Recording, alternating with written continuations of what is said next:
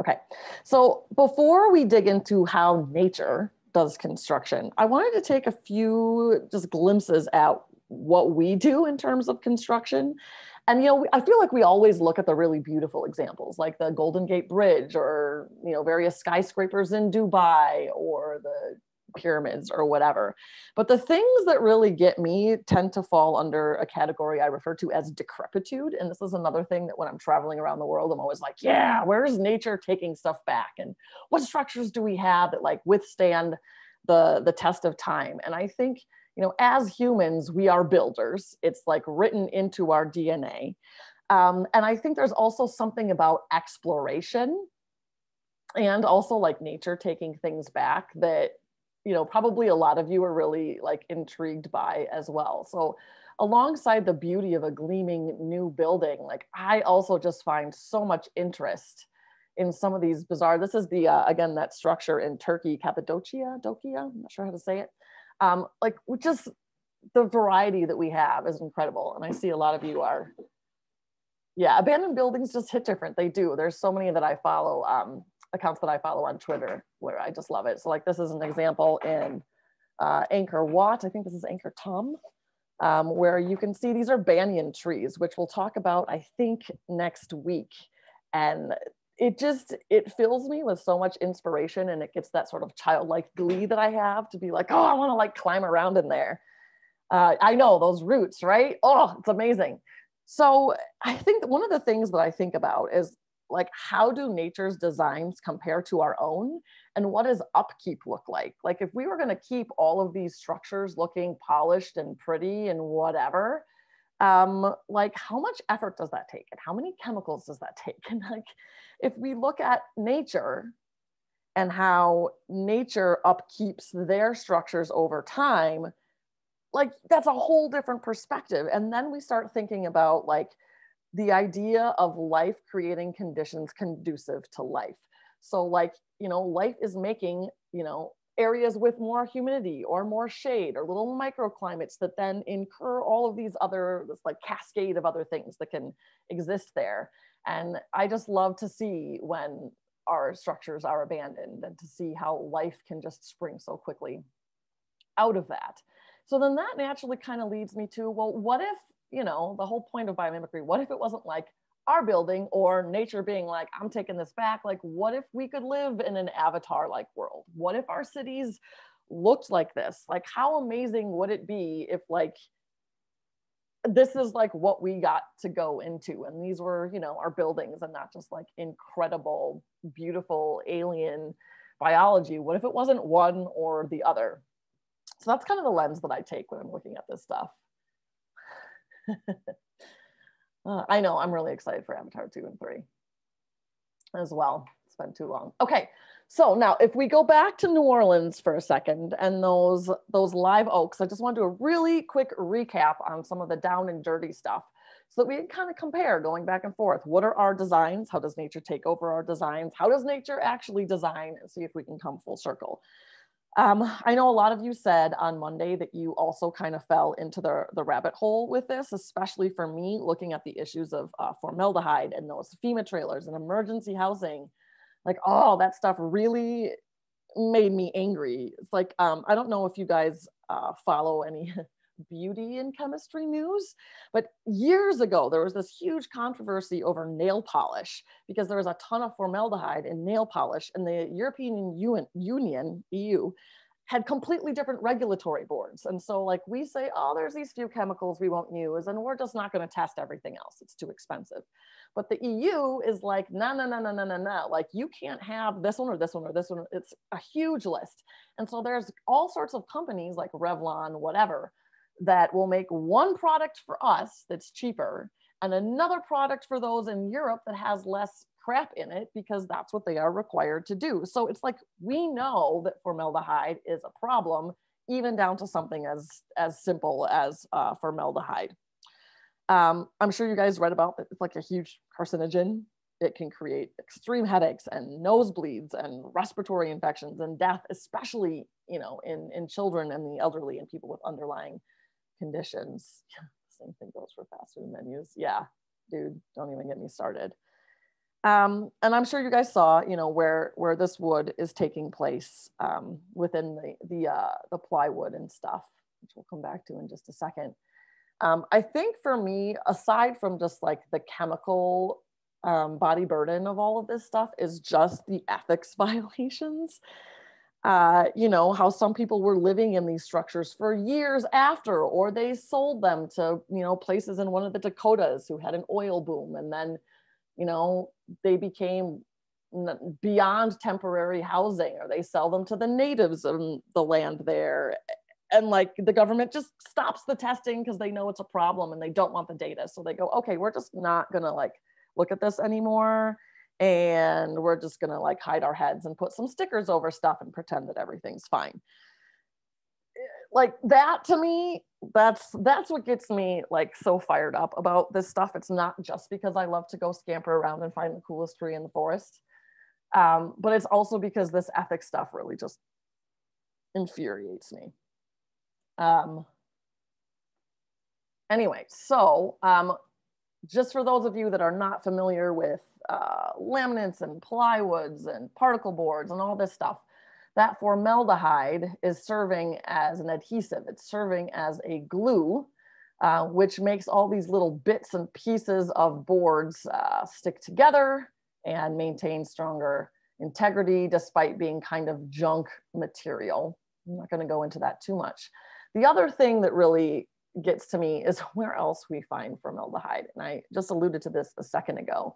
Um, I'm sure when some of you read this, immediately you thought about like dissections and uh, the idea of it being a preservative instead of an adhesive. And that's definitely true.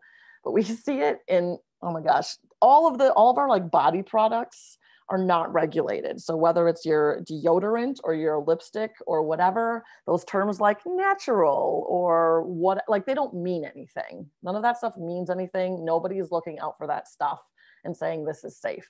So we find things like formaldehyde in flooring and fibers. Like almost all of the clothing that we are wearing is synthetic fibers, which means there's formaldehyde in there. And what they do, that formaldehyde lends itself to like better flexibility um, and so, yeah, we can wash it a bunch of times and eventually like those little particles get out of there and um, our bodies can, you know, break some of these things down, but it's, it's all over the place. And so you might ask yourself, all right, like if, if this stuff is in everything from my clothing to my eyelash glue, if those of you, uh, any of you, any of you use eyelash glue, why is it that we aren't all sick. Well, there's this ancient, I want to say, dead Greek guy, Paracelsus, and he came up with this phrase ages ago. And he said that the dose is what makes the medicine versus the poison. So if we have a little bit of formaldehyde that's coming from one or two sources, our bodies can break that down and we're fine. But if you've got these people's living in these trailers for extended periods of time, um, and then you know maybe another person uses it and another after that the off gassing is getting stronger but then you also have all of these other things well now the dosage is just too strong and it goes from being you know something that's you know benign on a tiny tiny level to hugely detrimental. And actually um, in terms of sign language i don't know if any of you know this i'm just going to put my face up here for just one more second. If the um the sign for medicine and poison is like you put your hand up and you use your middle finger and you do for poison medicine's the same thing. You just change your facial expression so like this idea is all over the place okay so we know it's an adhesive we know it's a massive problem, especially in underserved populations, et cetera, et cetera, et cetera. Uh, Paracelsus quote is something like the dose makes the poison and something like that. So let's now look at an organism we might turn to to say, all right, how do we get rid of this adhesive? Uh, our population is going to continue to go up, and we also need cheap materials to make, you know, really quick housing for people uh, experiencing these huge examples of dynamic non-equilibrium because they're not going away. So mussels are one of the strongest champions of adhesion that we have. So let's look at this for just a second. Why is it that mussels have to be able to stick to something?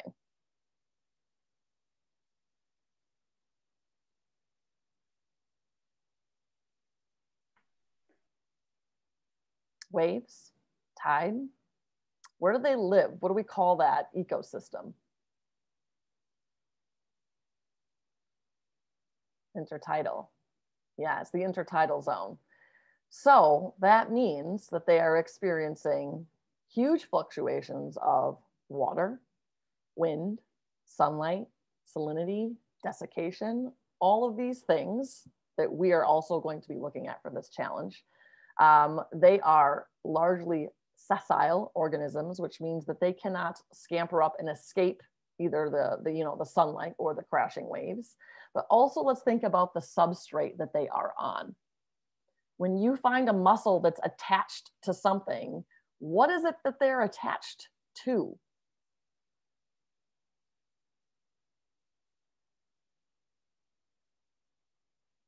Yeah, they literally stick to anything. Yeah. So, and, and as Colin pointed out, rock. So when we think about adhesion, a lot of times we're thinking about like a flat surface to a flat surface. In the case of particle board, we don't have perfectly flat surfaces. We've got some texture in there. And, you know, if you were ever a kid playing with like felt or crafts or whatever, you know that sometimes when we have pitted surfaces and we try to glue things together, we need a much stronger glue because it doesn't like there's it doesn't know how to grab on to some of those things.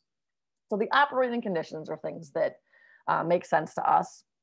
There are relevant biotic factors and abiotic factors that are happening here. Um, and we know we need a really strong adhesive without, without it being toxic, which is probably the most important thing. So let's just get a quick sense of anatomy here. So here are the blue mussels.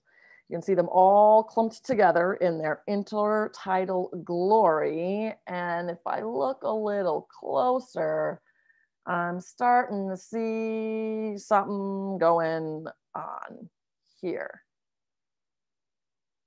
So mussels, as it turns out, can move, just not very much.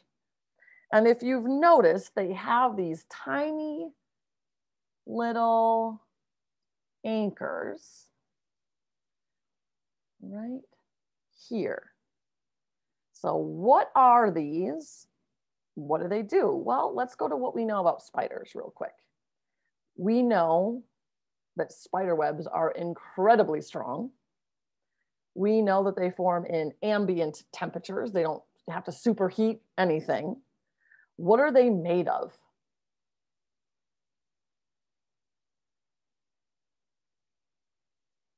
Any idea? So most generally speaking, they're protein based and the proteins are so uh, complex that we have a hard time mimicking them. Um, but it makes sense that sometimes these, these tiny little fibers that might have properties that help with attachment. So it's completely different in a spider web, but there is some sort of similarities in um, the mussels as well. So mussels are also secreting really complex proteins that form these threads, which we call byssal threads. Now, if you've ever thought of like the word abyss, you know, that's that's referring to like the deep dark ocean. So if you kind of kind of keep that ocean sort of idea in your mind, you can see right here, these are the byssal threads. Again, think of it being like your little your little super Spider-Man stuff going on. So let's orient ourselves to some anatomy for just a second. So here we've got the whole thing. Now these are gastropods, which means, you know, foot moving. And this little thing is what we refer to as the foot. If we pretend this was a real foot, imagine where the ankle would be. And that's kind of where within the mussel where the byssal threads are made and will extend out of this thing. Um, so here's what that looks like. So part of this foot thing, which is what you just saw kind of poking out, is this little piece called the stem. And there's a gland in there that makes this liquid protein. Um, when the proteins touch water, they immediately harden. They go from these stretchy, fluid little things to being an incredibly strong thread. And I think what makes me so amazed with this is like, this is the opposite of what mucus does. And I'm obsessed with mucus. And so the fact that it can go either way, like makes me just, it makes my brain burst because in mucus, you have this tiny little mucin, it's excreted, and then you get all of this sort of uh, super flexible slime that's still really, really strong, but it's not hardening. It's like becoming gelatin. So it's the same idea. We're still using proteins, but the, you know, what it forms after that is just completely different. It's amazing. It's like anti-mucus. So cool. Okay, so what do they do with it? Well, as we mentioned earlier, they attach to damn near anything rocks, concrete, other mussels, the sides of ships, everything. Well, why do they need to attach to this stuff? Well, they're living in the intertidal zone. They can't move too much. They need stability. Um, they also want to attach to each other. Well, why would that be?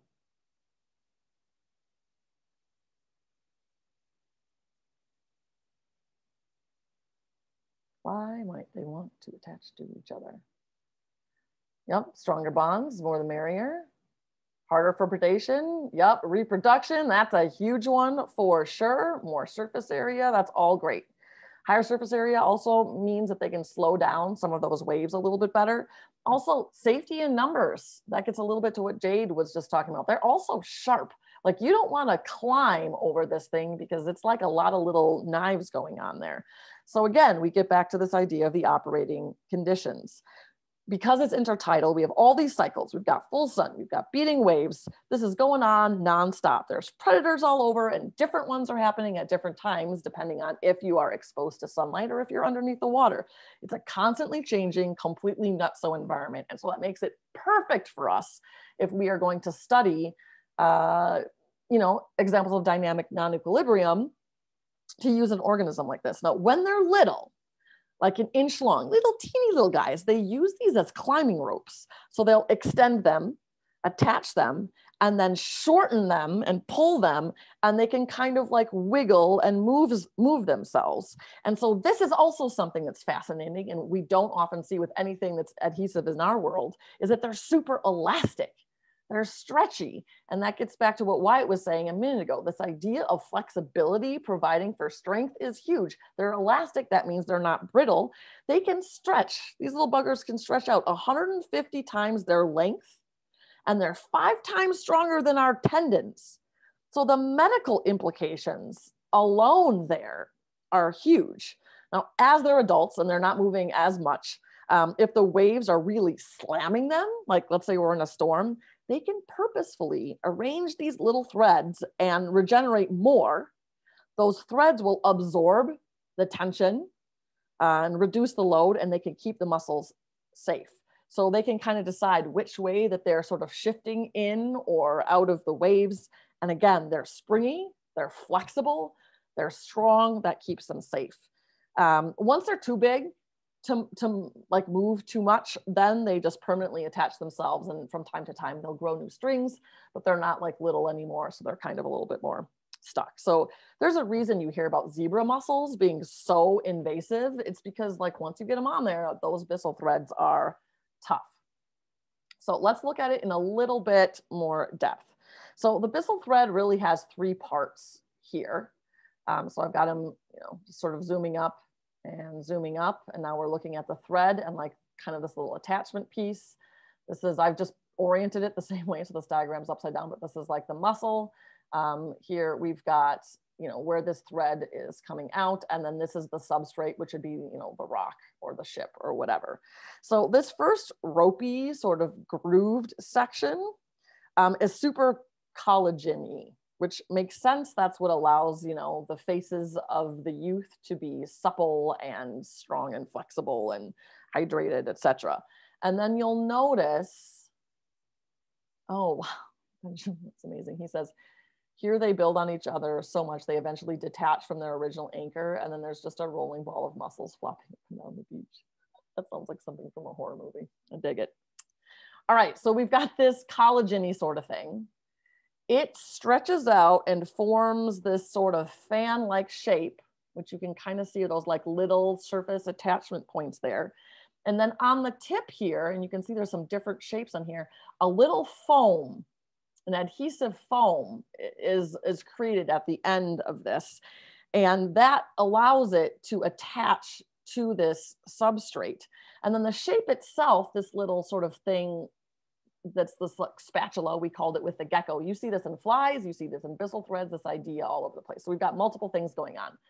We have the stretchy elastic nature here, which allows for, you know, some movement and absorption of forces and anti-brittle, da, da, da. We have this area down here where I am also um, putting something out that can uh, sort of fill in some of these little spaces a little bit and attach. Then I have this shape, this almost suction cuppy little shape as well that allows it to sort of be flexible and get around to surfaces that are irregular. So there's like a whole bunch of different things going on there. Okay, so here's another example of kind of what that looks like. This byssal plaque is what is that sort of foam that is um, forming at the bottom. Here's this little stem, here's the foot, and here's your substrate. All right, so what makes these so cool? Well, first of all, the glue is forming underwater most of the time. If you think about our glues, if we put them underwater, like that's gonna fall apart a lot of the times. Um, or, you know, like I'm sure you guys saw the woman who put like Gorilla Glue in her hair. Like it's, it's either it doesn't stick very well or it sticks so well that it's actually a problem. Uh, in those cases, though, to make those glues, we need a ton of heat usually and a ton of toxic chemicals, which leads to off gassing. We don't have that here. They're, they're just like in the cold ocean. There's nothing going on there. They're using materials directly from their environment. They don't have to travel half across the world to find something. They're water resistant. Most of our glues are like, you know, they get diluted, they fail in water. These obviously don't. And most importantly, most interesting, interestingly to me, is again, our glues don't work well if there's dirt, if there's something irregular, if there's something porous, things just kind of fall apart. So this could be really useful. Now, as just a side note, some mussels have iron within their byssal threads and they create this dense cross linking within there. So like they're literally metal, like rock on, amazing, super cool. Um, moving on just a you know maybe this is a do not do this humans before the pandemic even hit some people uh, collect byssal threads and they leave things out of them. Maybe not the best use of byssal threads.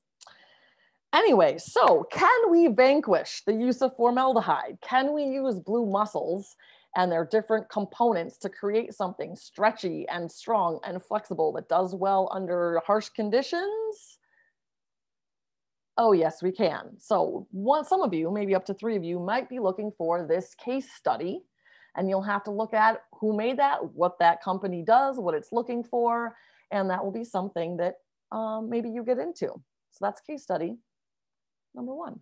Well, let's look at some other aspects of construction and kind of recap what we looked at on Monday. What's the problem? Well, why are buildings demolished? They outlive their purpose, they're too broken, and that leads to just like ridiculous amounts of waste. Um, you know, in the US alone, we've got more than two times the amount of whatever we throw away per year, just like us in our homes. More than two times that is like the industrial waste from construction. Um, you know, our landfills can already be seen from space. You know, it's not like the wall of China, it's landfills.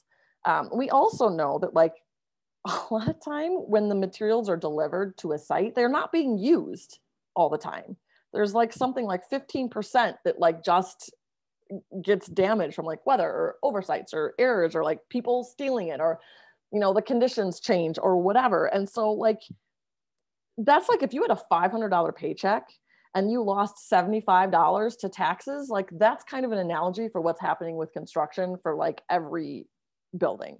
So life's principle style, well, we're not recycling all materials. Um, we have like centralized leadership in a lot of these places that are making those decisions. So then they're not adapting to changing conditions. So that's a problem. We also don't see decentralization. We see all these huge buildings that maybe if they can't be repurposed or they're too far gone, we have to destroy the whole thing instead of having lots of smaller modular pieces. Um, so we've got like a lot of ideas of where the life's principles are falling. Well, do we have any good ideas? So I went on Google and I just typed in like buy modular housing. And so, okay, what if we made lots of smaller structures? Can we do that? Sure. And you can see on there, you know, you can buy yourself a little house for, you know, a couple thousand dollars, tiny homes, super cool. One of my closest friends has built a few of these. Um, so on the front end of construction, this is great. I know exactly what I'm building. It's like puzzle pieces. It goes together.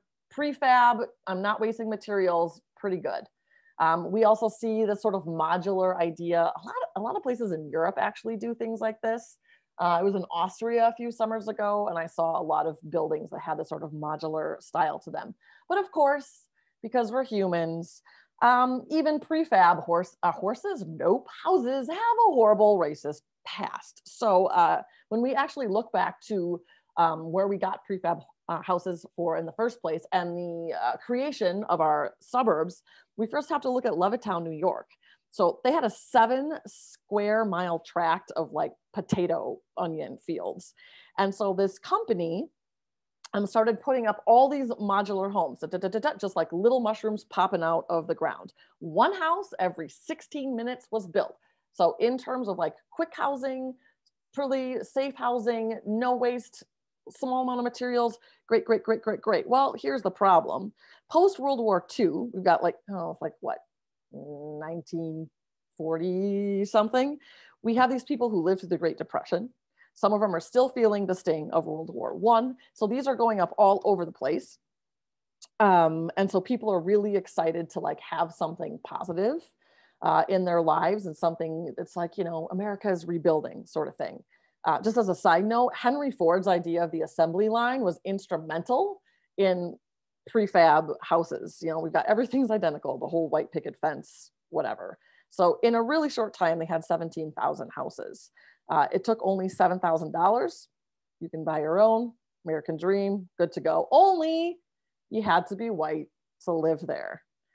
So even if you were a person of color and you fought in one of the wars and you got, um, you know, money from the government to make affordable, make housing more affordable to you, you were not allowed to live in these neighborhoods. So before we even get into redlining or all the other things, like right off the bat, we're just going to say, nah, you know what?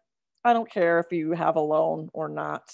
We're just going to sweep that on, under the rug because only these perfect, happy little things can be for white people. So fun. Good job, America.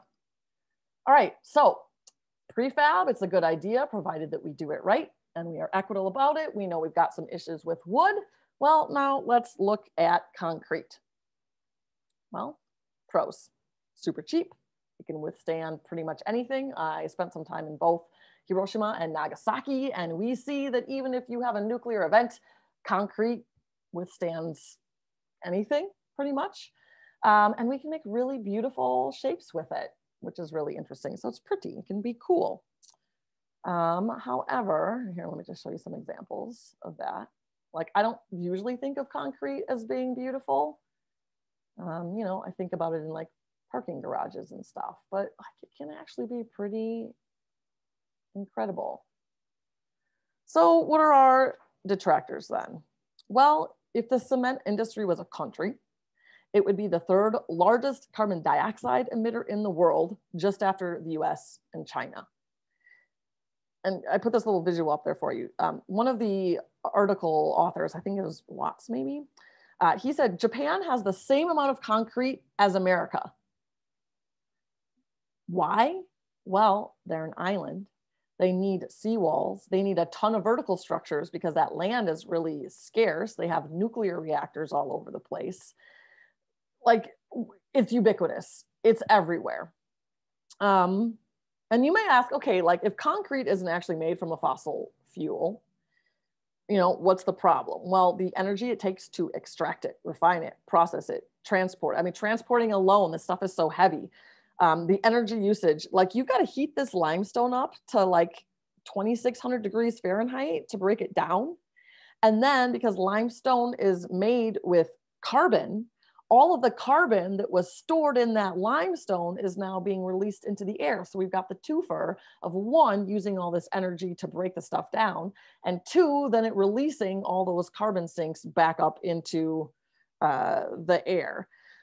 Um, so this is hugely, hugely problematic. Um, here's an example of a, a, limestone mine. And if you know anything about uh, organisms from long ago and where we got our limestone from, you can also figure out what the environment might have looked like millions of years ago because limestone uh, is largely from animals, which you can explore later if you like. Um, another thing that I thought was really interesting about cement is that, you know, we, we think about the plastic problem that we have we freak out about those garbage patches. They're every, all over every single ocean that we have. Um, so in the past 60 years, the amount of plastic we've put into the world is about 8 billion pounds. The cement industry doesn't take 60 years to do that. It does that every two years. But there's no like charismatic animal we can point out. We can't like show a picture of like a sad sea turtle and be like, oh, look at we're killing stuff. And so there's there's nothing to pull at our heartstrings. There's no cleanup campaign, and that would re- like that would require dismantling everything, which just produces more waste. So like it's a problem that we can't really get ourselves out of. Um, also, we can't really recycle it because once we do, we actually are downcycling it. It ends up in landfills and some of these things like it's made out of multiple things. There's maybe a rebar in there. It's just a it's a disaster. The other problem is how concrete can lead to flooding. Well, one of its pros is that it's waterproof, but that means its con is that it's waterproof. It's not permeable, which means as we have more and more category four hurricanes and more rain and more flooding, well, this water has no place to go. There's no place to drain. And so we have more wreckage, more death, more destruction. The levees are breaking, the city's underwater. We've got the sewage system problems, like all of that because of concrete um, you know, and so like we see this like everywhere. And it's like this was just happening this year, you know? and this is a problem because like this is where we live, this is where our shipping routes are, this is how we get everything that we need. We're all by the water. So, well, what do we do then? Because we can't just move all of our stuff inland. Well, as I alluded to with Japan, we just say, all right, let's just put a wall up. That'll fix it. Yeah, that's just, that's what we do. Just throw a wall on it. Well, what's the problem with that? Well, okay, they protect us for a little bit. They're made of concrete, all right, so they're not permeable. Um, sometimes they run parallel, so there would be, you know, buildings parallel to the structure here.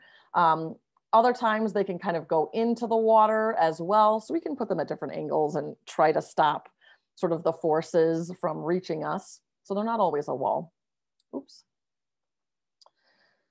Um, they can also stop our cliffs from like naturally eroding because it's sand and, you know, that's great. But, you know, we're still going to have this. We're still going to have erosion. And it's not just the erosion like right up here on the other side of the seawall. We, oh, we need seawalls. And you see these big old sandbags here. It's not just this erosion we're looking at. If we move a structure into the water, we still have erosion. Well, where is that happening? Well, think about it. It's like a, if we have a wall, it's a big rectangle. When that wave comes up, think about just basic physics. If it slams into that seawall, well, what's it going to do? Well, that force is going to go and come right back. So that means there's equal the amount of force that's now going down. What's down here under the water? Oh, we have more rocks and sand. Okay, so you can imagine that within all of this time, now underneath here, underneath these walls, I'm gonna lose structural integrity. I'm amplifying that wave and then all of those, you know, rocks and dirt and stuff, those erode away and then the seawall is swept up and then it can, this, these pieces fall over and can be carried back to sea. So great, we can use them for a while. And if they go down, we have to build a new one. We still have this happen. Like it's just, they're not sustainable. And on top of not being sustainable, like, you know, they're ugly. Uh, and again, they're going to need to be bigger, bigger waves, bigger storm surges, more water from the melting ice caps and glaciers. So we're just going to build more, better. Uh, it doesn't make any sense. So where can we look? Well, if we look at a large scale and we're getting away from materials for a second, we have so many animals who are architects. Um, you know, beavers and caddisflies. If you don't know what a caddisfly, C-A-D-D-I-S fly is, those are amazing. Look them up. Weaver birds and shells and mucus, you know, homes and all sorts of stuff. Um, so here's here's the bowerbird. I'm sure some of you are familiar with with these. Uh, they tend to love blue and they make these beautiful little homes to attract the ladies. We've got birds who make these incredible, beautiful structures and they can also like, uh, you know, regulate the temperature in these things. Um, here is an example of some people who did some experiments with caddis flies and saw what they did with like precious gems. And one of the best architects that we have are coral reefs. So if we think about like just super basic coral reef biology, where is it getting its limestone from? Because we see limestone here again. Well, nature considers carbon dioxide a resource. Um, so the way that plants are sucking carbon into their bodies and making their bodies with it, their sugar, their leaves, their woods, all that stuff is coming from the air. This is true with calcium carbonate as well. So eggshells, seashells, it's the carbon. The carbon's what we need. They mix it with calcium. Now we have strength. Um, and so what's, what's interesting is like all of this is broken down by acid, which is why when we see the acidification of the oceans, why this is starting to create massive problems. Um, and that is because more carbon is getting carbon dioxide is getting in there so this sort of you know double-edged sort of yes we need carbon but we don't want carbon dioxide so if we think about just reefs for just a second um, beyond kind of like how they form and how they, you know, they suck in all of this uh, stuff from the water. They build their bodies. They make these polyps. You know, we know the photosynthesis sort of symbiotic thing that's going on there. They also do a lot of really amazing things for us. Um, tourism, definitely fisheries. We a ton of the world population gets its food. Um, it's a multi-billion dollar industry. We also sadly see like the pet trade is like really huge here. Um, but one of the biggest ones, obviously, and this is the reason why we're looking at it, look at the texture. Shoreline protection. So all of these little reefs here, and you can look at look at just not the part that's like the waves here that are hitting. Like look at these sort of large fan-like shapes and then when you zoom in, we have more fans. And then we zoom in and we see even more texture. These shapes face the incoming water. So they're acting as a natural seawall all by themselves while creating an incredible place for organisms to live and biodiversity, et cetera, et cetera, et cetera, which promotes resilience. So these aren't like trees that are growing like away from and spiraling away from the wind. They are growing directly into it, which makes them super different than a lot of the organisms we think about. Um, there's an estimated, uh, I wanna say it's like somewhere between 30 billion to like 10 trillion dollars of economic value that's just provided by just the shapes. The shapes alone that can slow down all these forces of wind and water alone. Um, so when we're thinking biomimicry, this is also something to consider. It's not just the material. It's not just the process of extracting material from the water that's just there. It's also the shape. And we see that here too. Now, interestingly enough, some of you probably know this, um, you know, eventually some of the, the reefs will break down as they're dispersing that energy. Oh, uh, I was reading one statistic. I said something like up to 97% of just average forces and like basic storms can dissipate from like the shape alone. 90%, 97%. That's insane. So huge, amazing buffer. As these tiny fragments get broken up, they are what turn into our beaches, uh, helped along also by these parrotfish who eat chunks of coral. And then they digest them and then they poop them out. And then you lay down on that sand. You're welcome. All these creatures, tons of biodiversity. So mechanical properties, their dimensions, the distance away from the shoreline, their shapes, the fact that they grow into the strength of the water, they're perfect storm breaks. Um, metaphorically, they're also a great place to look at in terms of emulation, like symbiosis. How are we cultivating cooperating cooperative relationships? You know, resilience is built on diversity. How might we run an organization like a reef? What is the flexibility and inclusion that something like this might promote? Think about niches. Uh, we've got so many different spaces. Some are large, some are tiny, some are shifting, some are based on the skeleton, some are, you know, because of the living things growing off of it. So we have the space for really quick reflexive uh, changes here. So, all right, here are another couple case studies that you might um, want to look up. So we're gonna come full circle. What if we built, we constructed, instead of using you know the concrete we're using now and mining for all of that and using this ridiculous amount of energy what if we built like coral reefs did what if we used concrete that was made the same way so the same material what if we use the same process and what if instead of putting more carbon dioxide into the air as we made concrete what if we did what coral reefs do what if we pulled it out and Wyatt's saying he just watched a TED talk on this. Awesome. Maybe you can share the link with us later. So there are three super famous case studies, and some of you may sign up for these. I'm not going to tell you their names, but I'm going to give you some hints and some clues right now. So, uh, case study number one there's one company that said, Well, can we build cement? Can we make concrete um, the same way that coral does? And they found up, Yep, we can. Not only can we, but this company made a net zero carbon footprint. Net zero. That's amazing. So this company figured out how to make cement by absorbing carbon, becoming a carbon sink, and um, they also looked at how the coral reefs do it. Well, coral reefs use um, magnesium ions as kind of their, their sort of starting process with this. And this factory figured out to use magnesium in much the same way um, so that they could be a carbon sink. And um, one of the reasons why they were able to also get to net zero. So this is this is a little little like cheating, but it's still important to, to mention. All of their factories are solar powered.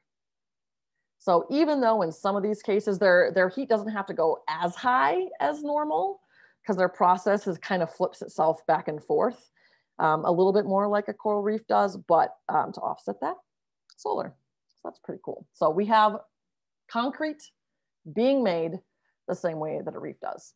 All right, here's case study number two. And this one, this one might be my favorite. So there's this company that they first were looking at the problem of reef, restoration because we know with like bottom trawling and ghost nets and the pet trade industry and reef bleaching, like there's all these things that are destroying the reefs. And it's like I don't know if any of you have watched that Chasing Coral um, documentary. That's like oh, it's like heartbreaking. So this company was looking at like how do we grow the reefs back, and we know um, that around um, the UAE and like the Red Sea and in the Middle East, we have some reefs there that are better at dealing with heat than anywhere else in the world. And so there's also a lot of places who are studying like what makes these reefs more resilient and what makes them able to withstand these higher temperatures and larger storms. Hmm, maybe we can do something with that. So anyway, this company was like, how do we restore the reefs? How do we regrow them? If the reefs go, like that is a pretty good indicator that we're screwed. So um, they figured out how to make these frames and they kind of they use a little bit of human ingenuity here and they used metal which is kind of the not so uh, biomimetic portion of this but the process of how they grew the coral and then created this whole habitat is stunning and beautiful and isn't just for the fish and the biodiversity, but again, this idea of shoreline protection, this idea of bringing back tourism and fish for the local people. It's not just ecosystems because we're all a bunch of hippies who like fish and moray eels. It's also doing huge services for humans instead of building giant stupid seawalls that are gonna fall over eventually and look real ugly. So that's the second example. So keywords there would be like coral reef restoration, regrowing um, coral, and that the idea of it having like a metal brace is going to help you there. Some really cool pictures of what that looks like. Oh, hope in humanity. Now, the third company, and there's actually, there's a whole bunch of companies that do this, but there's one in particular who's like massively great at this. So a third company tied all these three problems together. They said, all right, we know we're still going to have seawalls. We're still going to have places um, where water and land interface, like marinas. Um, the cost of sea level rising is something like $14 trillion per year, per year by 2100. So like we got to do something.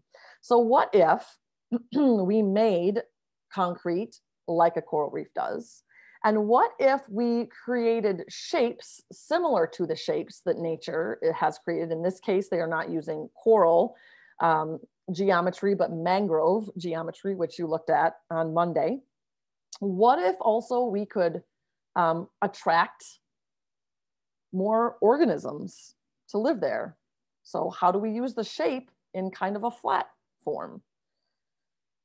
So this is a little bit less about the process of the concrete or like regrowing a whole ecosystem, but like how do we optimize and make something like this, which has no life, to something like this.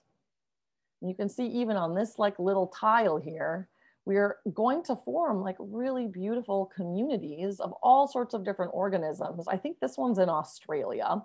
I think Volvo might have actually had something to do with it. And I think they have like a really beautiful commercial. Um, so like, this is pretty easy. This is modular. You could build this anywhere and it's, you know, still a seawall, but it's a step in the right direction. All right, so let's kind of zoom back to where we were in the first place. So from Monday to today, we talked about a handful of champions wetlands, mangroves, live oaks, blue mussels, and coral reefs. What do all of these things have in common?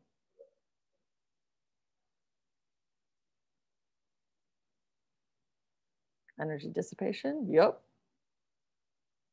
We've got complex shapes that are spreading that energy out for sure. What else? What are my operating conditions? Yes, they live colonially. Good.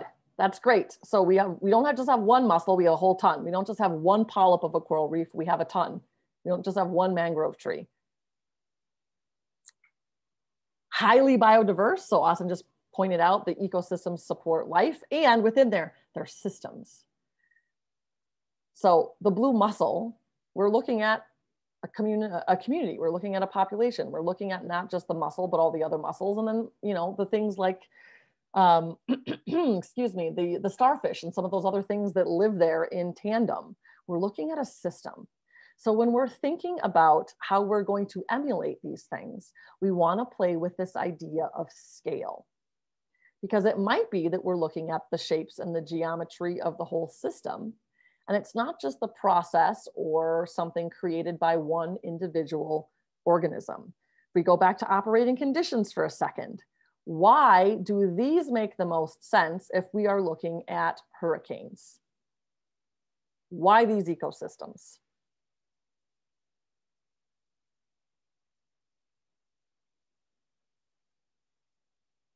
Right. Joseph pointed out one piece.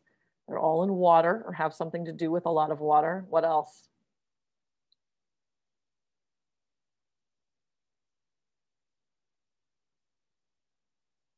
Yep, they're all resilient, and that's part partially because it's a system. We've got lots of different organisms working in tandem.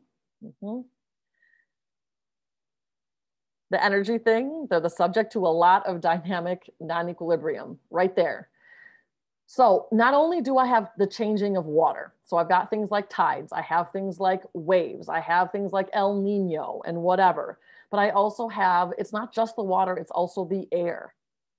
So I have constant shifting of both air and water and the mixing of these things. And still, These are incredibly resilient structures.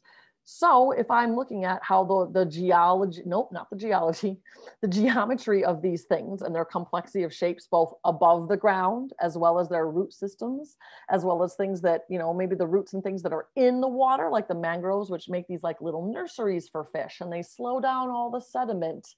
They kind of create these like little baskets. Like there's all sorts of cool little stuff going in there above the water um, right beneath the water and then deep in the earth. So we could look at all of those places, air, terrestrial, subterranean, and look for solutions there. We can also look on that interface between water and land and in coral reefs and in blue mussels, maybe they're extending into the water. So we've got a lot of variation here. So where else that's kind of water based might we add to this? What are some other ecosystems that may have some similar properties. I'm thinking Florida for one. What else do I have?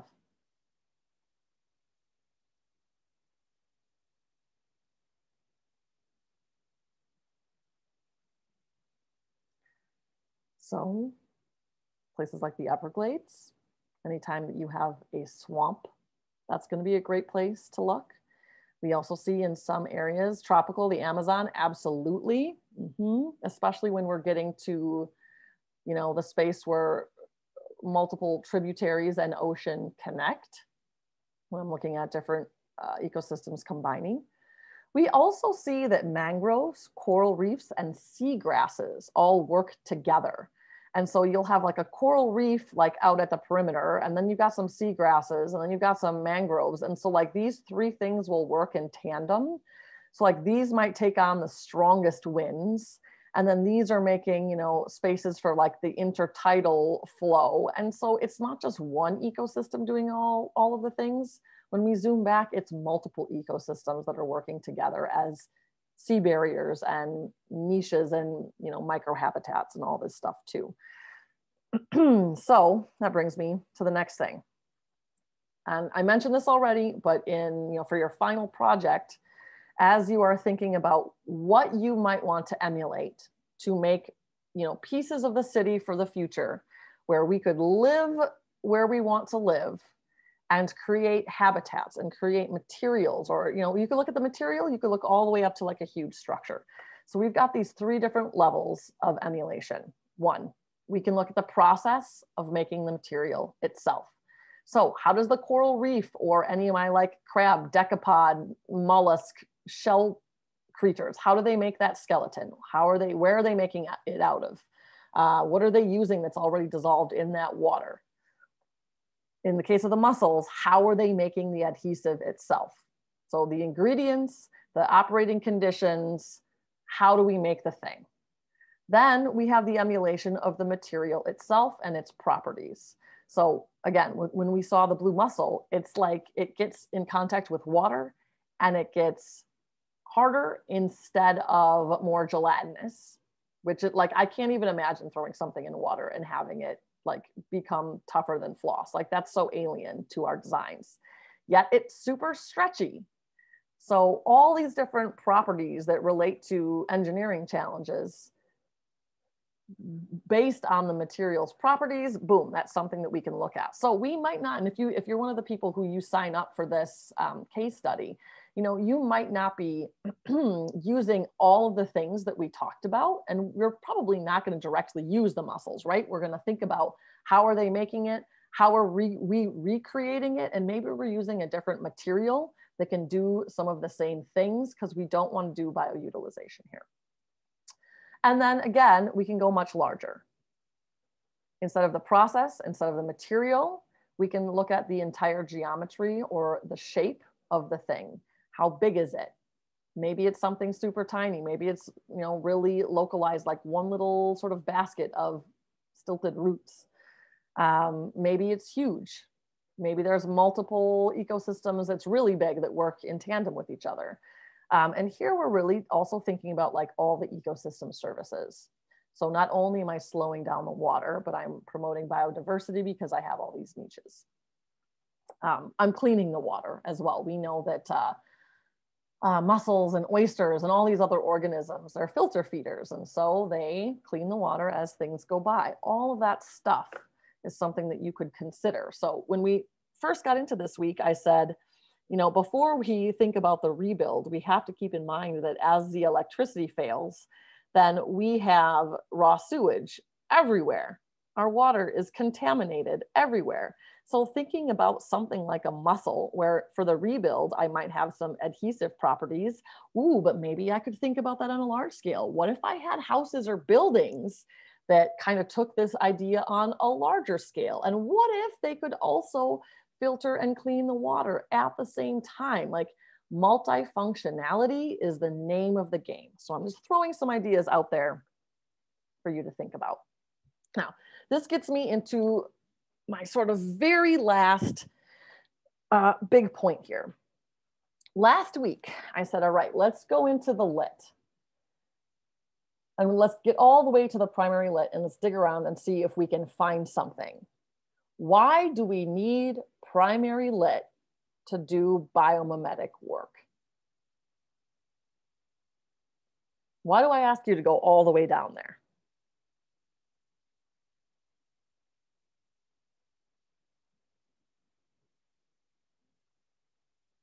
Think about your client.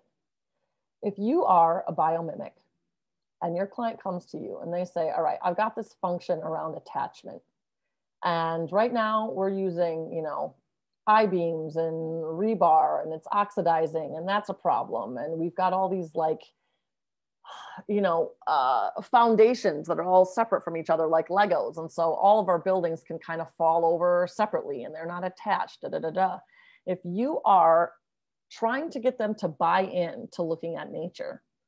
Credibility, exactly. You need to be able to point to something and say, here's the data. Here's how I know that this works. If it's something that hasn't already been like prototyped, people want to know that the risk that they're taking isn't so risky. So, this idea, as Aaron points out, of credibility, amazingly, amazingly, incredibly important. You throw some data at the engineers and they're like, oh, oh, okay, I can make sense of this now. They need to know that it works.